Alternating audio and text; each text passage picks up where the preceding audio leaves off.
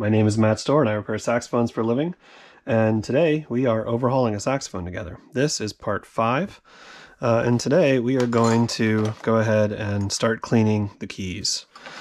Cleaning is going to be a multi step process that, um, for me, starts with using naphtha, N A P T H A, on uh, the keys and parts of the instrument body itself to get sort of the most resistant grime and old grease and stuff off of it. Now, naphtha is a dry cleaning fluid, and what that means is that when you use it, it dries, right? So you don't have to rinse it off. Um, you can clean things off with it, and then it evaporates.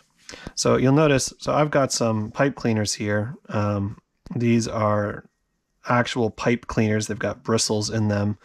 Um, these are made by a company that they used to be called BJ Long. I guess they finally got tired of that name being silly um, and recently changed their name. But these are the pipe cleaners I use. This is regular old naphtha and a dispenser made by Menda, M E N D A. Um, and what I do is I put some naphtha on the front end and the back end. And the reason is that I can take the pipe cleaners, pull them through, and see how we've got a little bit of dirt on the front end there and none on the back end. I can continue to clip this off and keep using it as it gets shorter. And the clean back end shows me that I got all the stuff off. If I just had the front end, I wouldn't know if there was still any, uh, you know, debris uh, or anything in there. So I'm doing the rollers right now. Speaking of rollers, you may have uh, watched the really, really long uh, video I did where I failed to extract a stuck roller.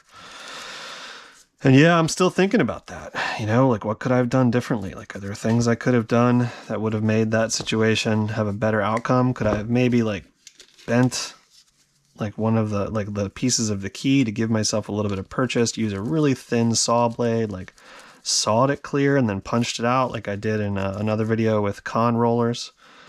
Um, those I did that too because I actually had that kind of room to start with. I didn't have to bend the stuff too much. I did a little bit, but this was so flush. Also, it cracked under relatively little pressure, so I guess that's a little bit of a balm uh, is that, you know, I think if I had tried to do something forceful like that, like saw it out and then punch out the um, rod, it might have just shattered anyhow. But I don't know if that was the best way. I don't know if that was the best possible outcome. It sort of feels like it probably wasn't. But um, you know, that sort of stuff happens, and I hopefully am going to be learning from that experience. You know, I'm still thinking about it a lot. It's definitely going to be information that I take forward with me and uh, you know apply in the future. That's a thing that's happened to me now. That's that was a new one on me. The uh, you know the level of frozen that that rod was to that post or sorry to that um, roller while also the roller was not seeming to have any like super bad effects from being heated up like super hot but it also didn't let go it's all new to me um, and i guess that's like sort of an important thing about this series of videos is like this is not sanitized i'm doing it in real time which is kind of nerve wracking right but um, you know i'm not trying to like sanitize this and show you how to do the job. I'm just showing you what the job is. We're doing this job together, and it's kind of like what you would be getting if you were an apprentice in a shop. Um, except, you know, if I had an apprentice in my shop and screwed up in front of them, um, you know, they might know me, they might trust me from other situations, um, you know, they might give me the benefit of the doubt. Here, it's kind of just all open. Um, but you know, I think uh, you know being judged on the internet is kind of just like a thing that happens these days if you do anything on the internet. So I'll just have to deal with it. Probably my career isn't over from perhaps not dealing with a stuck roller the best way. And of course, one of the things that's nice about this whole project is this is my saxophone. So, um, although I still have a lot of sort of doubts and regrets over what I did with that roller. At least it's really only uh, me that has to suffer if I don't end up uh, fixing a problem the right way, at least for now. You know, ideally, when you do repairs, you're thinking of the next person to touch it, the next person to repair it, and trying to make things easy for them, trying to take care of problems. Um, you know, because that way, the owner of the instrument, you know, no matter where they go to get it fixed, you know, um, they're likely to get a better job, right? If you don't leave um, cans of worms waiting uh, for the next person to touch it.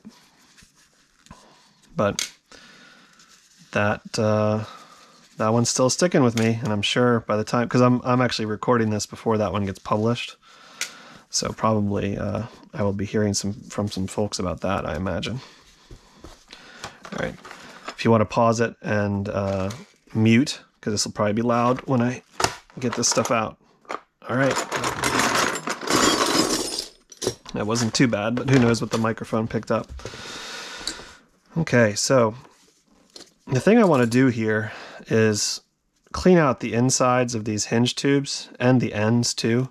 You can wash an instrument, and we will be doing that later, but it doesn't get to this stuff. And typically, I do this stuff first. pardon me.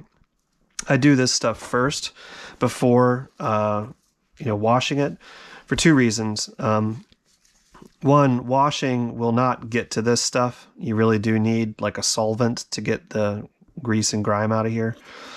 Um, and two, this stuff will leave like little fibers um, behind. No matter how much you don't want that to happen, it will end up happening. Wow, it's a lot of grease in that one. So probably when I pull this through, we'll see if this shows that I actually got it clean or not. Looks like I did. But now I'll snip that part off because I don't want to just like transfer grime to another bit. Um, but yeah, so that getting this stuff off first before you wash it seems to end up in a better result with the washing. Um, but also it gets rid of all the little hairs and stuff that you leave behind. Now I will also usually like do the ends of the hinge tubes too. Because again, this kind of grime that is from like key oil that gets built up over time, that's much cleaner, right? Doesn't really seem to come off uh, from just regular washing.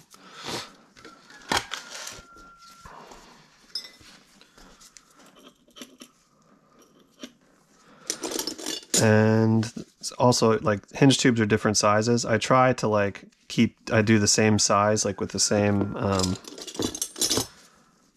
so that's a pivot. Try to do the same size with uh, the same um, pipe cleaner.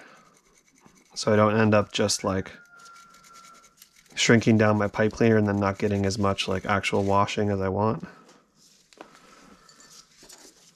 And here I'm taking a cotton swab and cleaning out the inside. Oh, that's the place. That's the roller, isn't it? Yep from the site of my humiliation and disappointment. There we go. Um, also for, so this is a pivot rod, right? So it doesn't go all the way through. We just have a shaped receiver on either side. And this one goes really deep. So that's interesting to note. Huh, that's weird. Wonder what the deal is there. pretty clean too. It's not like getting out a whole bunch of grime on this particular one. Looks like it's shaped. I don't know if you guys can see that. Um, so it's got like a matching taper on the inside to the pivot screws, but it's also got like a really long, like large hole drilled like deeper. So I guess the um, you know, the pivot screw goes to about maybe here. The head of the pivot screw would go from there to there. But then it looks like it's got a long drilled piece down to here. And that can be like an oil reserve. It can also sort of, um, you know, when you screw it in, if it mates really well, um, it can actually like pressurize, you know, and it like, especially if it's just liquid, since liquid doesn't really compress. When you screw it in, if you don't have a little repository in the bottom, you can actually sort of get like a hydrolock. Um, if it's mated like precisely. Um, so usually there'll be like a little tiny reservoir in the bottom. Um, to allow that to not happen.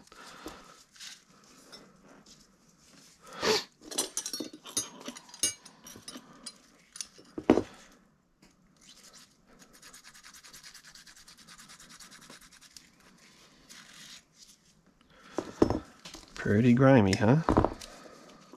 But again, having naphtha on the back end of it allows you to see whether you've actually cleaned it.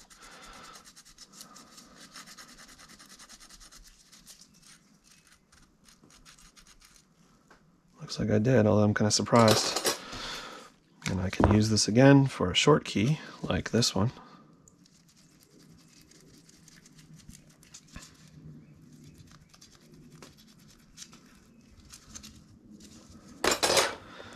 I'm going to try and do this kind of speedy. I mean, I did say I would let you guys see the whole thing, but this kind of feels like a job where I might run out of things to say about it.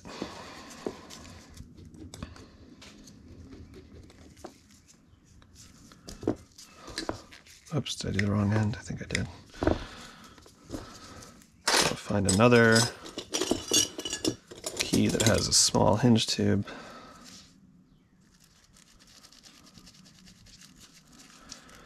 Again, with this naphtha stuff, um, it's basically lighter fluid. I think the Ronsonol lighter fluid that seems to be able to be found in lots of places um, is basically naphtha with like maybe one additive.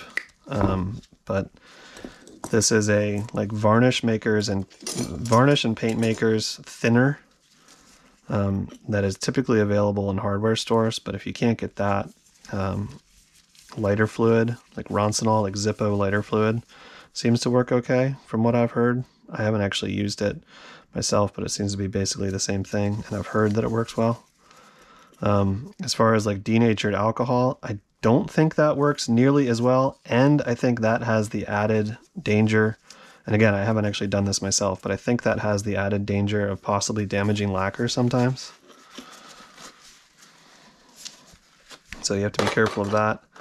And let's see, actually, did I do all the ends of the hinge tubes on these? I don't think I did. I think I got lost talking. Don't typically have a whole lot of conversation going on in the shop because I work alone. Doesn't stop me from talking to myself sometimes, but not quite this much.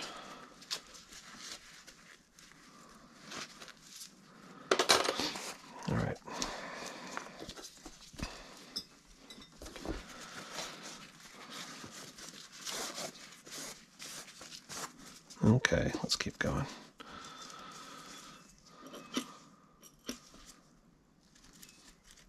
see, what else can I talk about while I'm doing this?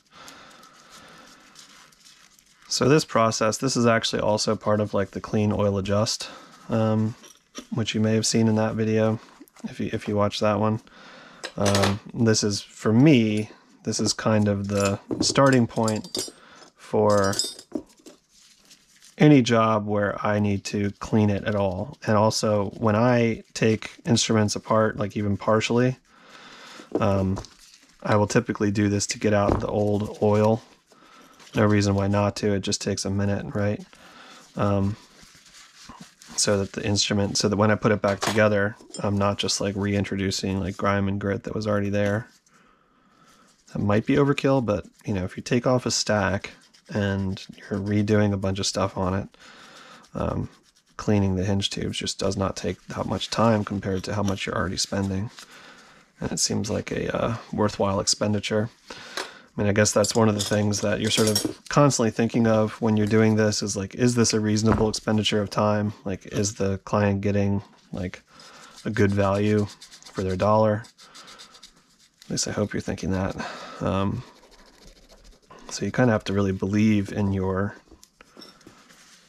you know choices and your work and what you're doing. I mean, you're never going to be perfect, right? I mean, like yesterday, what happened with the roller. Um, yeah, that's a real disappointment. And I think, you know, in the beginning of my career, I just, I mean, I still, I still do this. I guess I'm suffering less because of it, but the way I charge is typically like, all right, how should this go? You know, how long should this take if I'm not making any major mistakes, right? Um, you know, like what is what is reasonable to expect someone who does this job well. Um, you know, because bad luck happens, right? Like that. That's that's true, but there's definitely things would go better if I knew what I was doing more, right? So in the beginning of my career, um, you know, I was actually getting, I don't know, some percentage of the hours that I charged were actually, I guess some percentage of the of the hours I took was actually what I would charge, because I felt like it should have gone better. Now that I've been doing this 20 years, it feels like, you know, it's a reasonable assumption that like I kind of know what I'm doing. Um, if things go poorly, uh, you know, and I can tell that it's not my fault, well, then that's just like the way the cookie crumbled, right? Like, ideally, I can minimize that, but like yesterday with the roller, I guess I'd be kind of making a decision. It's like, all right, so, you know, how much time should I spend on this? Um, how you know, how much is it worth it to the client? I probably would have called them if that was a client horn and been like, hey, like I've got this one roller that's stuck. I think I can make a reproduction that looks pretty good. Um, you know, how long do you want me to spend on this? Um, when in doubt, you know, call the client, tell them as much information as you can, um, and help, you know, help them be empowered to make a decision on their own. But all that to say, you know, like if I screw up on something, like it should have gone faster. I typically don't charge for that time. Um, the bad luck thing is where it's sort of a gray area. It feels like, you know, like hopefully it just doesn't happen often enough that I need to think about it too much because that does seem sort of like a ethical decision that can be difficult, you know, like should bad luck be out of my pocket entirely, the client's pocket, split evenly, split somewhere.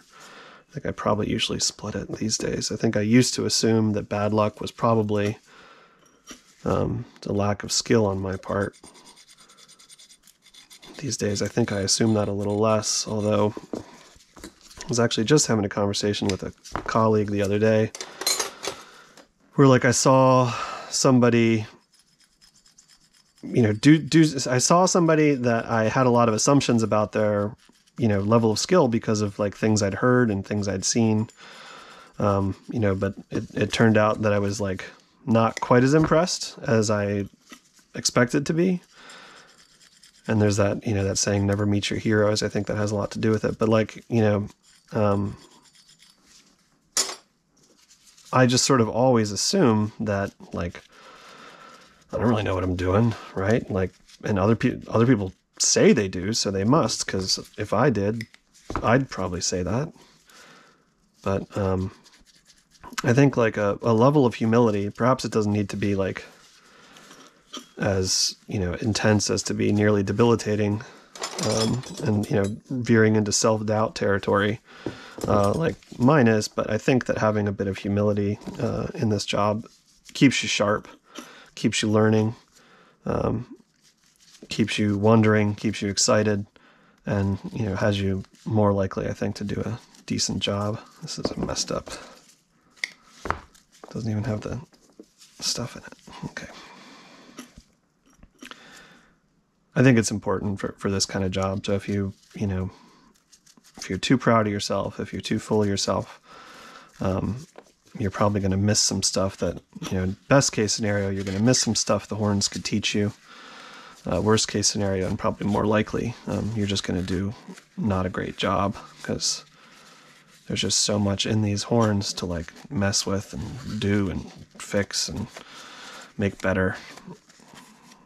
It's a bit tiring, I guess, you know, like it's not probably not for everybody to have a job like that. I know people that, um, you know, I consider very smart, considerate, like interesting, you know, thoughtful people that want a job that they don't really have to like think a whole lot for. Um, I think the older I get, the more I understand that, although it's just not how I am. I think I get bored with that really fast. And for me, being bored is worse than being frustrated, I guess is the short version. Now, if you get a rod that's too long for your pipe cleaner, you can just take, or sorry, a hinge rod, um, you can just take the rod that fits in there and push it through. It's not a big deal. It'll go through, it won't get stuck. That one, I think we can probably push another one through and see what's going on there.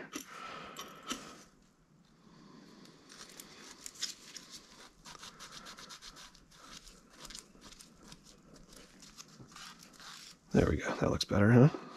Let's get ourselves another clean paper towel. And the video after this, I'm going to be doing basically the same thing to the posts. Um, so feel free to skip that one if you don't want more of the same. But like I said, I'm doing this kind of almost all uncut and real time. So that's part of the job.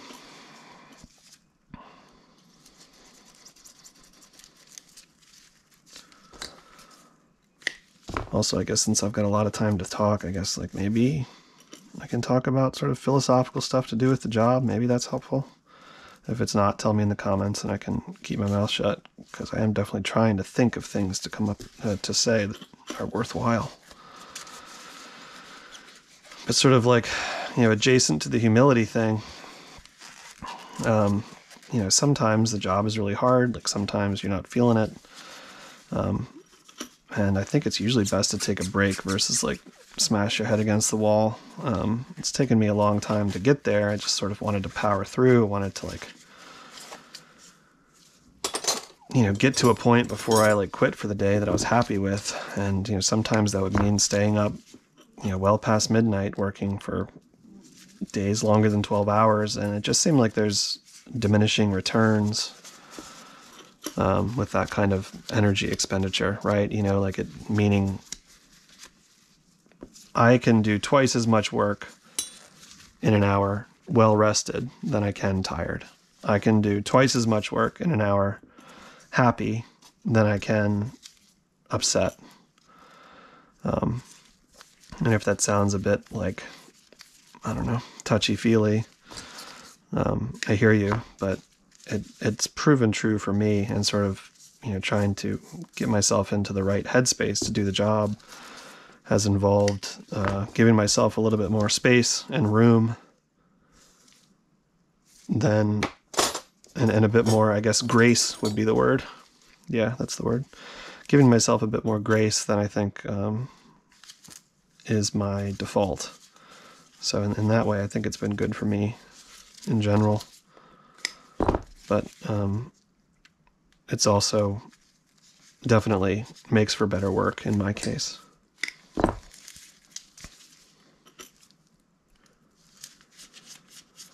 Also, I like when I clean keys, sort of like, I don't know, just getting my hands like all over them, feeling all the pieces, like just sort of, I don't know, I feel like it gives me some sort of awareness of the keys that I don't, that I wouldn't get otherwise. I do have um, someone who comes and helps me every once in a while and does cleaning for me. And it's funny because, like, as you know, kind of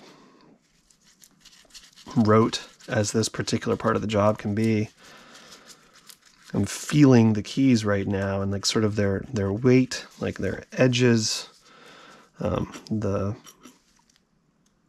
strength of them. You know, when I hold it here and clean it, I can sort of feel like is that flexing at all? Like is that completely rigid? Like what does that feel like? And that I think gives me a lot of information about the horn.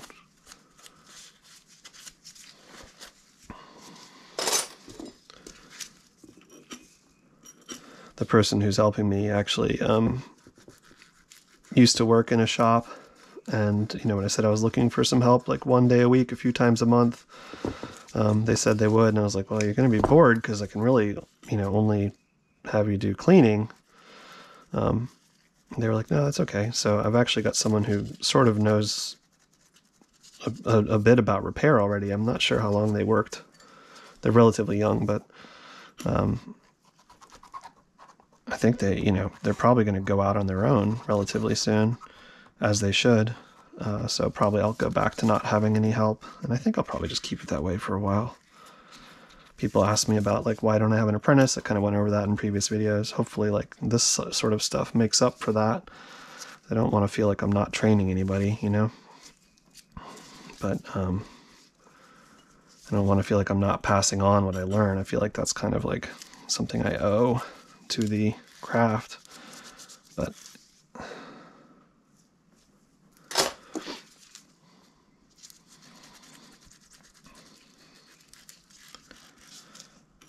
and also the amount of like grime we're getting out of this. I mean, we saw that that was original pads, right? Um, it's like this horn has been like apart and together and apart and together like a million times. Like this is just like normal grime that builds up.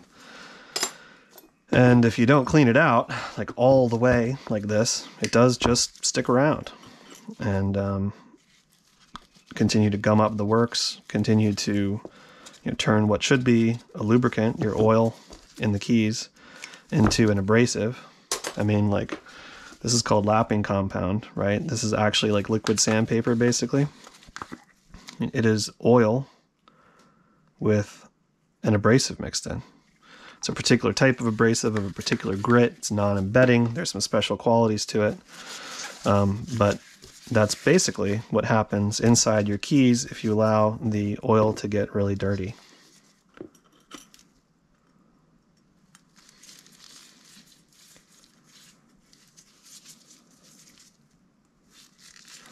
Yes, some of these um, pivot receivers are way deeper than others.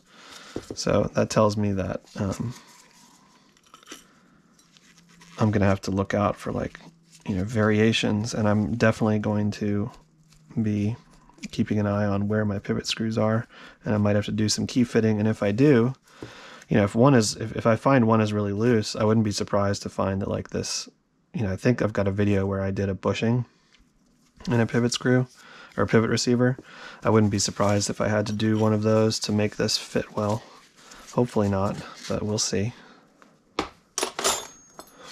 Now we're getting into the octave mechanism.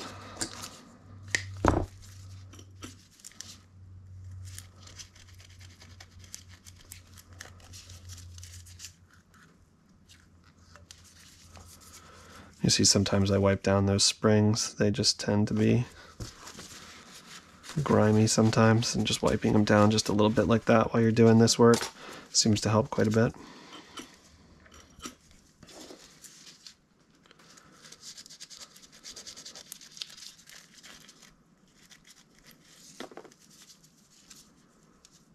Okay, it's pretty clean.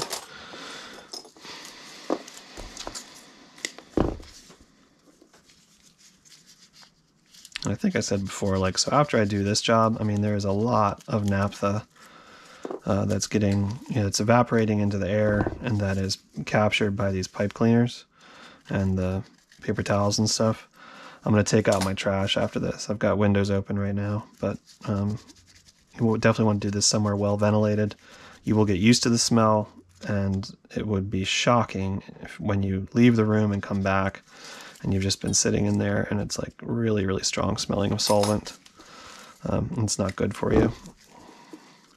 I don't think it's the kind of stuff that like immediately causes you to have like major illness or anything like that, but long-term exposure is not good. So, you know, wear gloves, keep it ventilated, and uh, throw out your trash is a big one. Get it outside of your shop, get it, you know, outside of uh, interior spaces because it will just continue to slowly evaporate off of uh, the pipe cleaners, which is, I guess, where the majority of this stuff really resides during this job. Oops.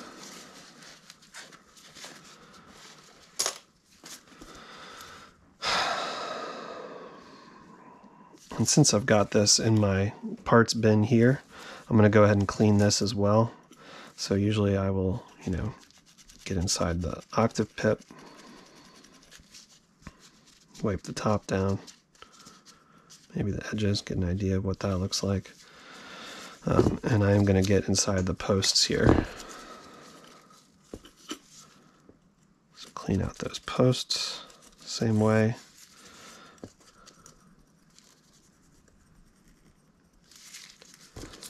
And then the threaded post, I think, is a place where a lot of grime tends to live and uh, escape notice. You see, I'm kind of like screwing it in like that. I was rotating it. That'll actually like help clean out the threads a lot more than just pulling it through. All right. So we have now done the naphtha cleaning job on the keys. This is grimy. Um, and next video, I'm going to move on to doing the body, although it's mostly the same concept. Um, but doing this prior to a regular cleaning, uh, I think makes an enormous difference in how actually clean you get an instrument. Um, and like I said, naphtha, I've got extensive experience with. I have not seen it damage any finish. Think maybe one time there was a finish that was like exceptionally dry, like a like a lacquer that was just really really dried out. Um, and uh, it might have like kind of fogged it in a couple places, but that was just a one-time thing, and I feel like that lacquer was probably in really bad shape to begin with. But um, I've been using it since I started in this business 20 years ago, and um, that's the only time I've ever seen anything bad happen uh, due to using naphtha. So, my name is Matt Stohrer. I repair saxophones for a living. Hopefully, you found that helpful, useful, and informative. Thanks for watching.